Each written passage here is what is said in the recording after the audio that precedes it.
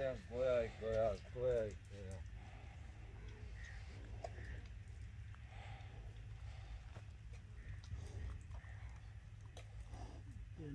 ਕਰ ਦੇ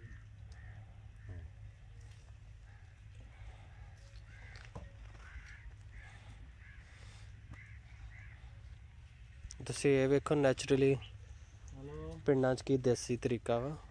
ਦੁੱਧ ਕੱਢਣ ਦਾ ਧਾਰਾਂ ਚੋਣ ਦਾ ਅਸਲ 'ਚ। ਹਲੋ ਤੇ ਇਹ ਜਿਹੜਾ ਨਾ ਜਗ੍ਹਾ ਜੁਗਾ ਨਾ ਵੇਖੋ ਕਿੱਥੇ ਗੰਦ ਕਿੰਨਾ ਪਿਆ ਹੈ।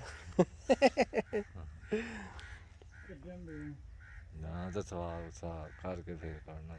ਹੂੰ।